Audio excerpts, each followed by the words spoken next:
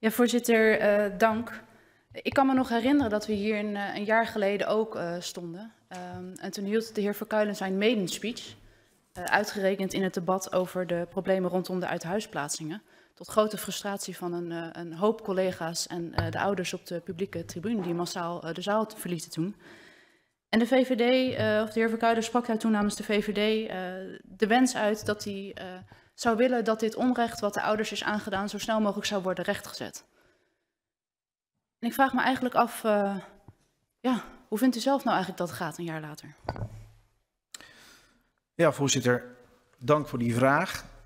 En dat ongemak voel ik nog steeds. En als we snelheid kunnen maken, en heb, in meerdere debatten heb ik ook de minister gevraagd, ook de staatssecretaris, om hier zoveel mogelijk prioriteit aan te geven om te versnellen waar dat mogelijk is. Uh, en het frustreert mij, maar ik denk ook de bewindslieden en ook de Kamer, dat we niet sneller handelen dan dat we nu doen. Ja, voorzitter, ik vind het toch een beetje makkelijk. Uh, de heer Verkuilen hield net een heel betoog over het belang van reflectie. Um, prima, dat, dat is hartstikke goed en dat moet ook zeker gebeuren. Maar misschien een stukje reflectie uh, bij de VVD in, in, in, bij monden van de heer Verkuilen zou ik ook wel prettig vinden. Wat vindt de heer Verkuilen nu eigenlijk uh, ja, wat is hier nu het afgelopen jaar gebeurd? Want even in mijn korte samenvatting zijn volgens mij eigenlijk geen steek opgeschoten.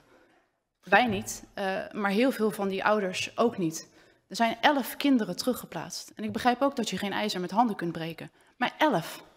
Graag toch wat, wat, wat meer reflectie. Ja, voorzitter. Um, er is niet niets gebeurd in de afgelopen periode. Ik denk dat het ondersteuningsteam daar een voorbeeld van is wat uh, in het leven is geroepen. En ook ik vind het verbazingwekkend dat maar 300 ouders zich gemeld hebben bij dit ondersteuningsteam.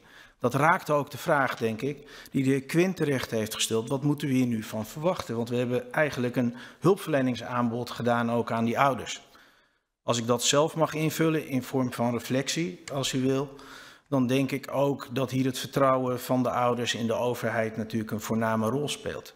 En ja, het aantal terugplaatsingen, we weten ook dat er vaak multiproblematiek in die gezinnen was. Ik denk dat dat kausaal onderzoek, waar hier omzicht een lans voor breekt, om echt te kijken hoe die relatie nu zit tussen zeg maar, de toeslagenaffaire en uithuisplaatsingen, dat die bijzonder waardevol uh, zal zijn. Voorzitter, tot slot dan. Zou dat wantrouwen van die gedupeerden er dan misschien niet iets mee te maken hebben dat het kabinet wat is afgetreden er nog steeds zit?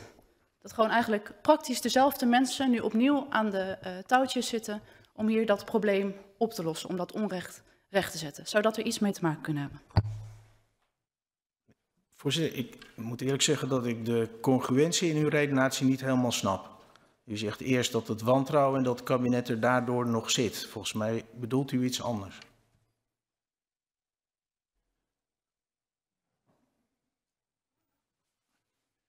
Voorzitter, voor mij, volgens mij was mijn vraag uh, vrij helder. De heer Verkuilen uh, sprak over het wantrouwen van de gedupeerden. En ik denk dat dat wantrouwen uh, mogelijk voor een groot deel gevoed wordt of nog steeds blijft bestaan door het feit dat er een kabinet is afgetreden, wat vervolgens eigenlijk gewoon weer is aangetreden, wat nu geacht wordt het probleem van deze mensen op te lossen.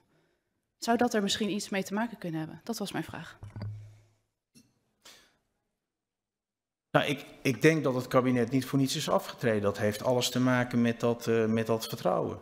Uh, maar dat betekent dat er een dure plicht ligt ook op de bewindslieden nu en ook op, uh, op de fracties die in de Kamer zitten om te zorgen dat we dit probleem zo snel mogelijk oplossen. En ja, dat frustreert mij ook.